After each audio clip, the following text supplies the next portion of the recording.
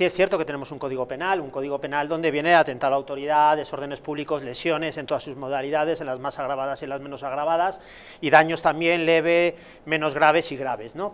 En sus diferentes articulados, que bueno, que son, son muchos, ¿no?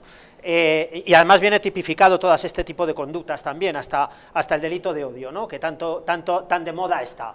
Pero con esto, ¿qué quiero decir? Pues que, muchos de los políticos que tenemos hoy en día, porque esto es el resultado de qué, o sea, estos vándalos o esta gente que sale a la calle o que va a salir esta, eh, este fin de semana o este sábado, que la van a liar en sus eslóganes de, grupos antirracistas, grupos antifascistas, grupos anti... siempre son anti, nunca son pro una empresa o voy a estudiarme tres carreras o voy a hacer algo, ¿no?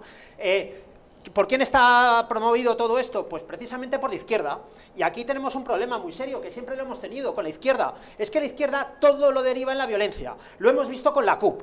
Hasta hoy mismo, la CUP ya está llamando a otra sublevación casi en Cataluña, diciendo que es que bueno, que es que hay que salir a la calle y que bueno, pero es que tenemos al señor Pablo Iglesias, que se declara, bueno, se ha declarado, pues, claro, seguidor con su padre del FRAP, heredero del comunismo y, que continúa pues en esa lucha de comunismo-libertad, ¿no? O sea, es algo inviable. ¿Cómo podemos estar con esta gente? Bueno, o por no hablar de nuestra amiga Isa Serra, ¿no? Que está condenada también por, por estos mismos delitos que yo hablaba, atentado a la autoridad, lesiones, desórdenes, etcétera, etcétera, y daños. Pero ¿qué es lo que tenemos aquí? Pero es que llevamos siglos, desde la época de Prim, de Canalejas, de Eduardo Dato, de Calvo Sotelo, de, hasta de Carrero Blanco, la violencia de la izquierda, la transición que fue la violencia de la izquierda, de ETA, del Grapo, del FRAP y de todos estos grupos. ¿Qué ha sido hasta ahora? La violencia de la izquierda. Y repito, tenemos un código penal, un código penal que podemos actuar perfectamente con él. Pero claro, el delito de odio hay que meterlos a los que